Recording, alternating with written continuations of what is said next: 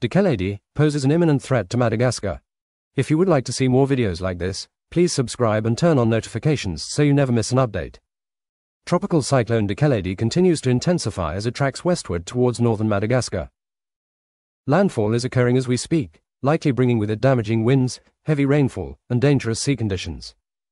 Dikeledi is moving very fast, so significant rain impacts are still possible, but with less severity than if the system was a slow-moving cyclone. After making landfall, Dikeledi is forecast to re-emerge in the Mozambique Channel as a strong tropical storm. Track guidance remains tight within the channel, with a high likelihood of the storm staying within the channel and not making landfall in Mozambique. Mayotte remains under a pre-cyclonic alert, with significant rain and wind deterioration expected in the coming hours.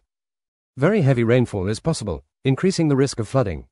Mayotte's recent experience with Cyclone Chido has significantly increased its vulnerability to subsequent tropical cyclones. Weakened infrastructure, damaged housing, and economic disruption resulting from Chido could exacerbate the impact of this event. The potential for delayed recovery, disease outbreaks, food insecurity, and social unrest also poses significant threats. Thankfully, an impact as serious as Chido's is not anticipated. However, any further impacts, even minor ones, would not help in the long recovery process and could further strain already weakened infrastructure and resources. While the potential for impacts in Mozambique has decreased, it is still possible that disturbed weather may affect parts of the Nampula province.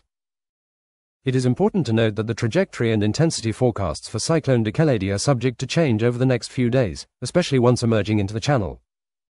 In addition to Dikeledi, another low pressure area may form in the central part of the basin this weekend. However, the probability of this system developing into a tropical storm from Monday the 13th of January is estimated to be very low. That's all for today. Please subscribe to this channel to receive the latest updates on tropical cyclones.